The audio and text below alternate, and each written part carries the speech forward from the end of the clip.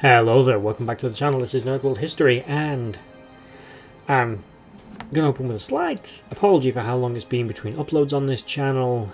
Uh, I've been very busy the last couple of months with work and a few other things, so very busy, not really had the time to dedicate the, to the research and sort of scripting of one of these episodes. I am trying to get more of them done. One of them is going to be this one, which is a relatively short episode on something that's a relatively recent discovery of a bark and woven shield discovered in, or rather near to, Leicester in Britain. This is an extremely rare, in fact, so rare of a find that it's the only one ever found in Europe. This kind of shield has been seen elsewhere in the world, but no examples have ever been found in Europe, and this is the first of its kind. Originally believed to have been too weak to have ever been used in battle, due to, you know, it being made from bark. But, as we'll get into, rather interesting story behind it. Before we get started, like, share, subscribe, comment down below and check out the other videos on this channel. There is a full playlist where I've been breaking down all the different aspects and individual Celtic tribes of the British Isles, which is a series that's relatively close to being completed now. I just need to get, you know, my finger out and do the rest of them. But this one is on this specific object. This shield was found in 2015. Radiocarbon dating indicates it was from the years approximately 395 to 255 BC was when it was roughly made and it measured 670 by 370 millimeters. It was made from obviously bark, woven material, wood, and other basic organic materials. It was very, very simply constructed, but was actually remarkably sturdy, although very lightweight. As I said, originally it was thought that this thing wouldn't have been strong enough to ever have been used in battle, but actually it's now been shown that you can use it.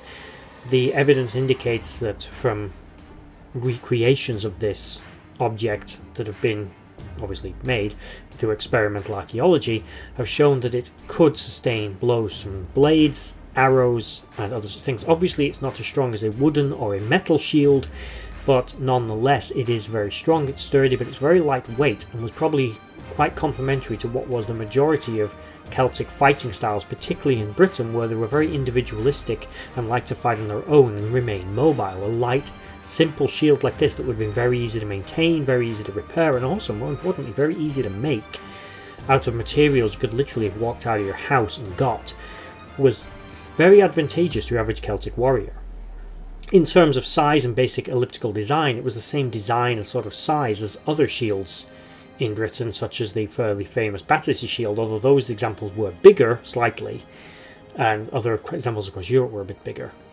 It was generally in the same sort of ballpark, but it was a little smaller, one handed, and very light and easy to move around with. Point is, it gave you some level of defense. The central boss of the shield was actually woven together and is stronger than you would imagine. Now, woven and wooden materials were very common in the Iron Age, but very few examples of them survived to the modern age. They know they were commonplace because enough of them survive, a bit of intuitive logic. They clearly had more bowls and spoons and things than we're giving them credit for, so they clearly didn't make everything out of pot. So a lot of it would simply be made from organic materials like wood and grasses and things like that that would basically deteriorate and very rarely survive in the ground. Now, in addition to that wonderful little piece of information about this, it's also opened up the theory that this kind of shield was probably much more commonplace in Britain and probably wider in Europe than we think. I am personally often very dismissive of this notion of your naked barbarian charging into battle as the Romans described them. A civilization that was so used to warfare and was so good at making swords and spears and bows and arrows and knives and slings and, cha- and was so good at chariot warfare and built great impressive fortifications. The idea that they were so stupid as to never at least carry a shield. Occasionally, one of them didn't casually wander into the idea of wearing a helmet or a bit of chainmail, which was actually invented by Celts, is just absurd to me. And this is evidence to that hypothesis that I have that they were a little more intuitive and not as stupid as the Romans like to portray them. And history has then painted them as these uncouth savages waiting for the Romans to come along and civilize them. Now, although a shield might not be the best example of civilization, it's certainly an example of human nature. And as I said, this shield was, uh, or rather, to this to this date, up to the making of this video, is the only example of its kind ever found in Europe. But this one, tellingly, does show signs of battle. As I said, they thought it was too weak at first, but it's got a hole in it that was clearly made by something like a spear, maybe a sword, but probably a spear, as well as other minor bits of damage that may have been caused by arrows or glancing blows. It was uh, based on the other objects that were found in the same pit, and this thing was found in what may have been an animal watering hole, which is a common Celtic theme of putting a damaged or unusable token, such as a shield or a sword or a dagger, into water was fairly common. The Battersea shield was also deposited in water, just in the River Thames rather than in a pond. But this thing was deposited with other objects that appeared to be much younger than it, indicating that it had at least 10 years of life before it was discarded, finally.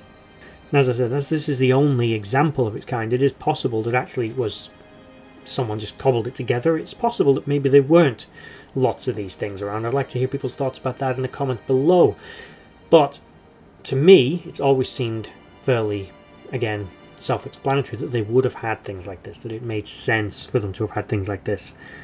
The only thing that is a little vague on this thing is although it's clearly based on its recreation capable of being used in battle and to me looks obvious that it's got a hole in it from what was probably by a spear and some other damage, there is a theory that because they tended to damage ritually an object that they deposited, before doing that they would bend a sword, things like that, break a knife, to make it unusable, probably so someone couldn't just come and get it out of the water and use it. It's possible that this damage was actually done deliberately to this object and then it was deposited rather than actually being used in battle. So, you know, who's to say exactly?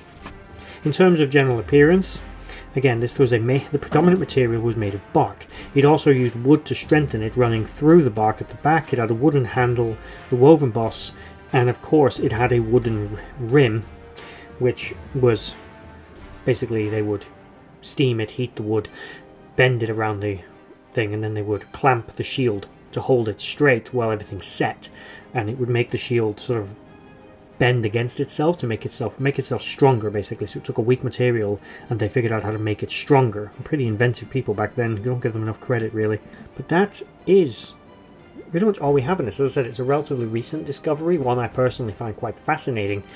And as a person that has an interest in military history I find compelling the idea that shields like this, although basic, were in widespread common use across Europe before the Romans turned up. Now, there are obviously examples of more sophisticated pieces of military technology being used by the ancient Celts. I imagine a lot of it hasn't survived, but really, really simple everyday items like this for general, in, for lack of a better term, infantry use, I can imagine were produced en masse. An object like this was so cheap and so easy to make for the people that had the skills back then. They could have mass produced this thing in huge numbers and equipped a small army quite easily and quite quickly. It makes sense for a society like the Celts. But, as I said, let me know in the comments below what you think. And that brings us pretty much to the end of this video.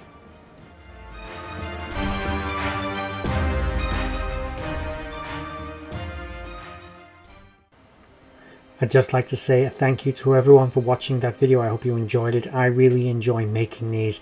If you did enjoy it, please consider giving a like, share, and a subscribe, and maybe checking out the other videos on the screen right now. And in the description box below, there are links to my other social media accounts.